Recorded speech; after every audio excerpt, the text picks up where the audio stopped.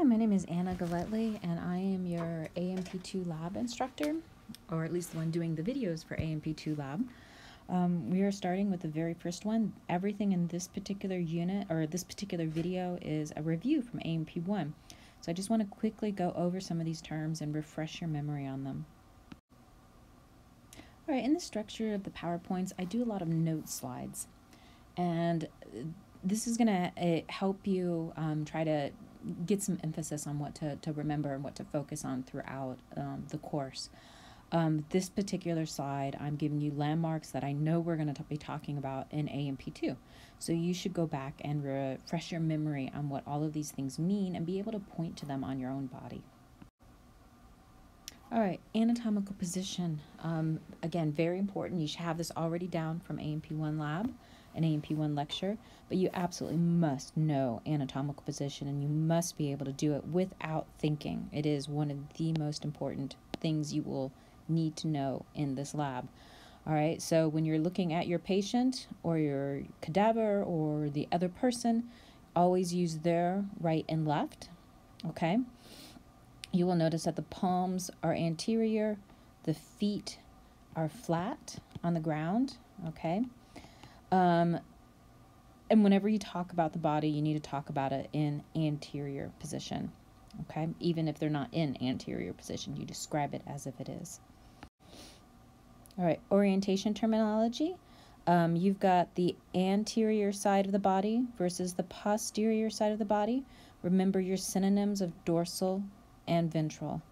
Okay, so with dorsal, what I try to remember is a fin on the back. That's a terrible fin, but Maybe I'll do a better fin. Shark fin on the back because the dorsal fin is on the back of the shark. Okay. All right, when you're dealing with superior and inferior, looking at things going towards the head for superior and towards the feet for inferior, we do again have uh, synonyms. Okay, you've got um, rostral and caudal. We don't tend to use those very much, sometimes, especially rostral, but we'll sometimes use caudal, okay? Um, technically, anything on the body can be used with superior inferior, but we're going to get to proximal and distal, I think, on the next slide, so let's talk about that there. Nope, actually, we're going to do medial and lateral first. Medial is towards the midline, all right, which should be fairly easy for everyone all right and then distal excuse me lateral is away from the midline okay?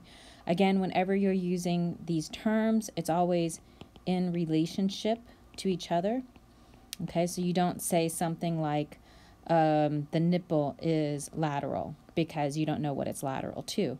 So you could say it's lateral to the sternum or you can say it's medial to the axilla okay? So it's always in relationship all right, now we're going to get to proximal and distal. The first thing I want you to remember is that proximal and distal are used only with the arms and legs, okay? Proximal means in proximity to something, whereas distal means distant or further away from something. So everything that's proximal is going towards the torso. Everything that's distal is going away from the torso. Now, you need to use this with arms and legs. Technically, you can use superior and inferior, but I'm not going to. I'm going to use proximal and distal because those are the better terms to use with those appendages. Okay, we will use proximal and distal as well for some of our organs, like to describe how the duodenum, part of the intestines, is distal to the stomach. Okay, so these are really, really, really, really, really important terms for you to know. Um, ipsilateral, which I've just written over, and contralateral. Ipsi means um, same. Contra means opposite. So opposite side versus same side. All right, here we've got some other ones like cephalic, rostral, and caudal. Um, you'll need to know superficial and deep in particular for A&P2 because we're going to be talking about organs.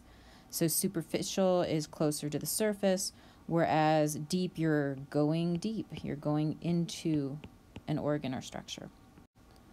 All right, so here's a place where you can practice drawing your regional terms to the different body parts. So this is a nice little activity for you to do on um, your tablet or on a, you can print it out and do it on paper as well. But you should practice all of these. All right, a refresher on your planes. So what you will see right here is they're showing you the frontal plane or the coronal plane. I tend to use the word coronal because I come out of osteology. Um, frontal is often used in medical um, places as well. So frontal is referring to the bone, whereas coronal is referring to the suture. What you need to know about these is it's dividing the body into anterior versus posterior segments. So if you cut the nose off, it's in the coronal plane, okay?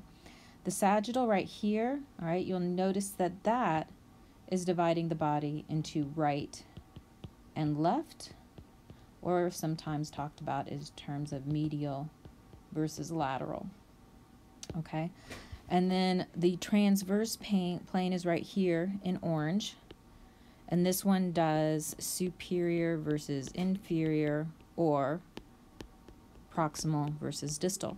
When we start digging into the body and we start bisecting organs or structures in order to look at them, these planes become particularly important. So practice these terms and make sure you're good with them. All right, here's a nice picture showing you how we're going to be using these planes as we study A&P2. So you'll notice the sagittal plane dividing into right and left. In this case, it's a mid-sagittal section so that you can see the uterus, the bladder, and the rectum. Okay. The frontal plane, this is like you've sliced off the entire front of the body so that you can see the front of the lungs and the heart. Okay. And then here's a transverse section I find these visually, for me, the hardest to wrap my brain around. But basically, this is your superior, inferior. Basically, they've cut off the top of the head going through your eyeballs so that you can see like the cerebellum, the brainstem, and then the cerebrum here and here. And you can see part of the nasal, um, the sinuses in here. Okay? All right, next slide. All right, a refresher on your body cavities. Again, you, you do need to know these and be able to do them without thinking about it, okay? So remember that you're to divide the body up into a dorsal body cavity versus a ventral body cavity. So ventral is the anterior, dorsal, oops, there's an S missing, is the um, posterior.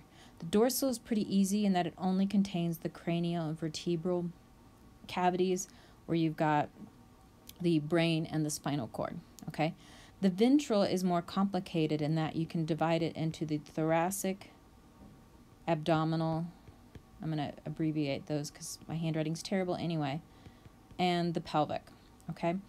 And then within the thoracic cavity, you can further divide it into the pleural, the mediastinum, and the pericardial cavities. The abdominal and pelvic cavity are sometimes combined to be the abdominal pelvic. Okay. Now, between the thoracic and the abdominal, you'll remember from A&P1, we have a nice boundary line created by the um, diaphragm muscle. The pelvic and abdominal cavities, you've got an imaginary line at the ASIS, so the anterior superior iliac spine. Okay. So you need to go back and review these body cavities and make sure you're good on them. All right, from A&P1, review your nine abdominal pelvic regions. All right, so this is what I call the tic-tac-toe board. Okay, just know them. All right, I actually prefer the quadrant system, which we'll look at on the next slide. All right, we will be using these quadrants as we talk about the abdominal and pelvic organs. So know your right upper, your right lower, left upper, and left lower. And the reason we do that is we can talk about how if we're dealing with pain in the right upper quadrant, we could um, basically rule out that the appendix is a problem or the rectum is a problem because those are down in here. And instead, maybe we're dealing with the liver, gallbladder, or something else. Okay? All right, review from A&P1. You have three covering membranes. You need to know all of them. You need to know how they are formed. So you've got the serous, the mucous, and the cutaneous. Okay? The serous is going to be in the body cavities, okay, in the ventral body cavity specifically. Okay? mucous lines tubes, okay? Um, and then cutaneous is skin. These will always have two layers, epithelium and connective tissue proper, okay? Usually areolar, but not always, okay? Um, because they have these two tissues, they are considered a simple organ, okay?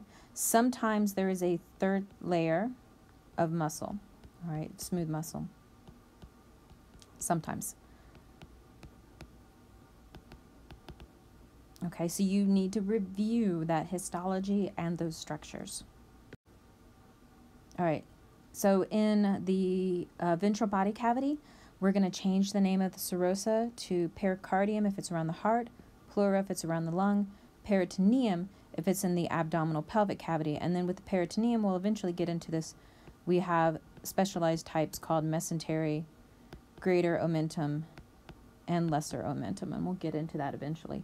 Now, lining tubes like your blood vessels, your lymphatic vessels, the inside of your um, intestines, those are going to be mucosa. Okay, so know the difference between the two and know that we're really going to be focusing on both of them in this particular lab.